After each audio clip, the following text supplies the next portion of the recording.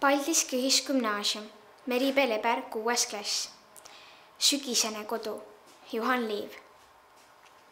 mu armas kodu väikene, seal eemal mäe peal.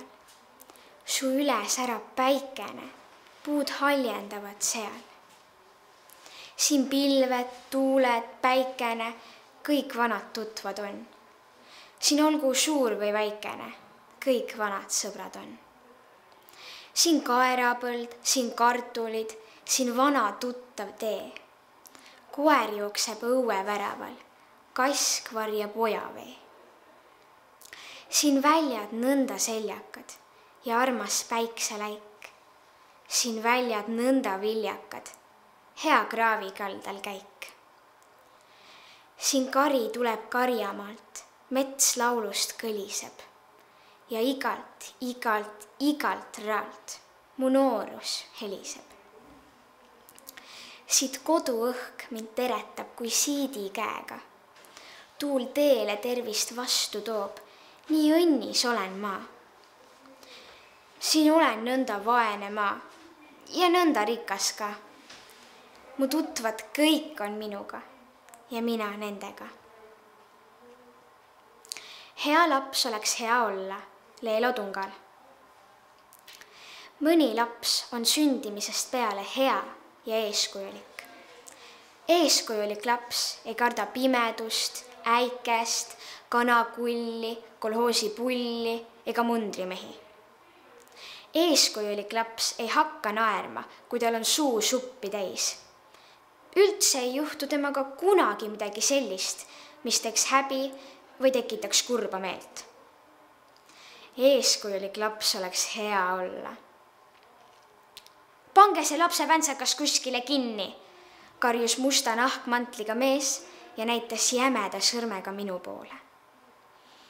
memme võttis mu sülle ja surus kõvasti enda vastu. ta silmad läikisid niiskelt ja mina pistsin pillima.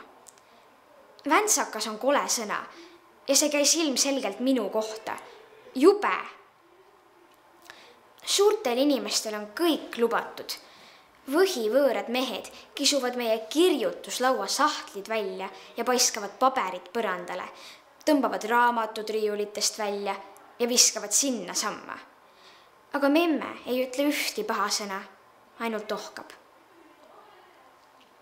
mine nüüd teise tuppa ja ole hea laps, ütles memme võõrale onule volksti pahast pilku heites küllap läheb kõik veel hästi.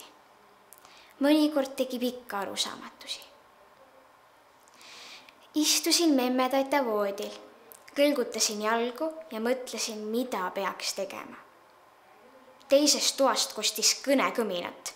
võõras mees rääkis valjul ja vihasel toonil ja memme vastas talle rahulikult, ainult veidi kõrgema häälega kui tavaliselt. memme on meil sopran minul ei õnnestu kohe kuidagi nii kõrget häält kurgust välja saada. jaa, aga laulu kaudu võiks Väntsaka onule teada anda, et siin majas elab väike laululind, mitte värdjas. laulmine on selline asi, millega võib suurte inimeste tuju alati paremaks teha. korraga paiskus uks lahti, nii et link kolksatas vastu seina ja musta mantliga mees tormas minu juurde. kuradi kontra väntsakas kas pead lõuad või viime sinuga kaasa?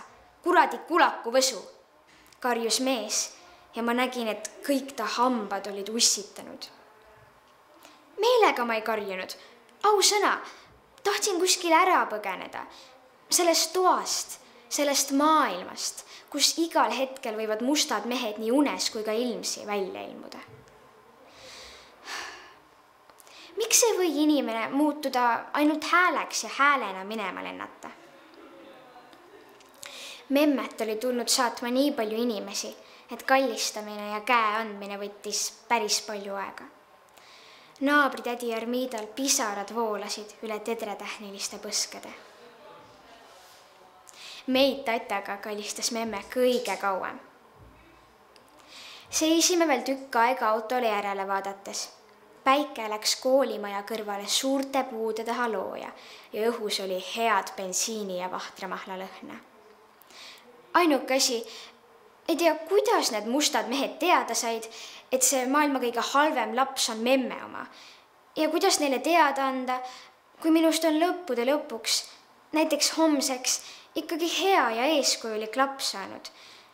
heade ja eeskujulike tüdrukute emad ei lähe oma laste juurest kusagile, ammugi mitte mustade meeste kambas